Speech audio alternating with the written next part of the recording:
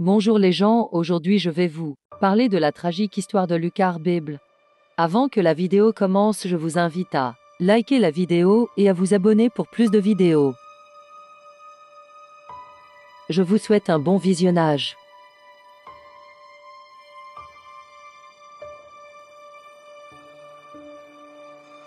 L'histoire que je vais vous raconter s'est passée aux États-Unis en 2021. Ce qu'il s'est passé a choqué énormément de monde. Lucar Beblex était un joueur de Roblox, il était très jeune, il avait 9 ans et sa naïveté l'a trahi. Son meilleur ami s'appelait Jason. Tous les deux aimaient jouer à M2, c'était même leur jeu favori et ils s'y retrouvaient assez souvent. Un jour, ils rencontrèrent un joueur, nommé Seden. Il prétendait avoir le même âge qu'eux, et qu'il aimait également MM2. Très vite, Sedin devint leur ami. Il jouait avec lui presque tous les jours. Un peu plus tard, Lucas activa le chat vocal avec le passeport de sa mère. Sedin l'avait déjà activé, mais il leur dit jamais plus de détails à ce sujet. Début décembre, Sedin commença à poser des questions très étranges à Lucas comme par exemple Dis-moi où tu habites pour que je vienne te voir ou dis-moi comment est ta maison. Comme Lucas était jeune et naïf, il lui donnait quelques informations. Après cela, quelques jours passèrent jusqu'au 24 décembre. Les trois amis étaient en train de jouer et se parlaient avec le voice-chat.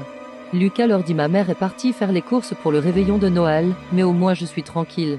Jason devait venir passer Noël avec Lucas. Mais le micro de Seden se coupa brutalement, puis on entendit une voix de veille homme doré dans le micro de Lucas. Je suis là, on va pouvoir s'amuser tous les deux maintenant. Jason était terrifié d'entendre ça, mais il se rendit compte que c'était Seden, il avait mis un modificateur de voix depuis le début. On entendait des cris de douleur de Lucas, il appelait à l'aide. Alors Jason eut le très bon réflexe d'appeler le 911 pour sauver son ami. Mais quand la police arriva chez Lucas, c'était déjà trop tard, Lucas et Seden avaient disparu. Personne ne les retrouva après des centaines d'heures de recherche. La maman de Lucas fut blessée psychologiquement et prit la décision de ne plus avoir d'enfant. Imaginez-vous à sa place, perdre son enfant à cause d'un jeu vidéo, c'est surréaliste et inimaginable tellement c'est horrible.